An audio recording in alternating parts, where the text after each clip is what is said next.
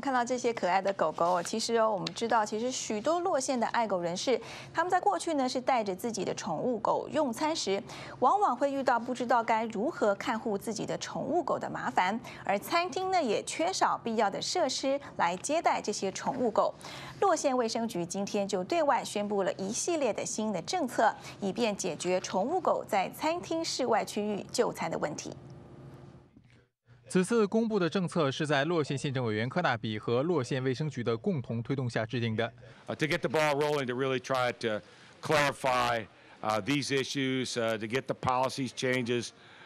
that are necessary, put them in line with everything else that allow pets to accompany their owners to outdoor dining areas at our Los Angeles County restaurants.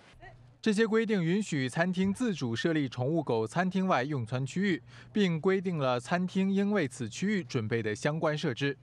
比如餐厅因为宠物狗进出室外用餐区而准备专门的入口，餐厅的工作人员不应在宠物狗室外用餐区内准备食物和放置餐具等。与此同时，新政策还对宠物狗主人在用餐时应该如何看护自己的宠物做出了相应的规定。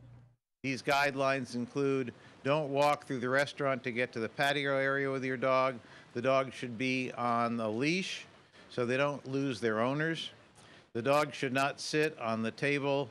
or on chairs or other seating. Dogs, we're asking dogs to please check with their owners before they come up on their lap.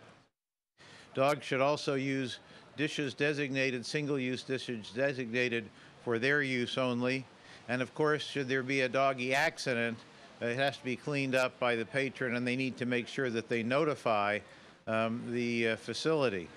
洛县卫生局的负责人强调，此项新政策中的要求大多都是一般常识性的，并且是在遵守国家法律和保证民众健康安全的准则下制定的，因此不会对普通民众用餐造成任何的影响。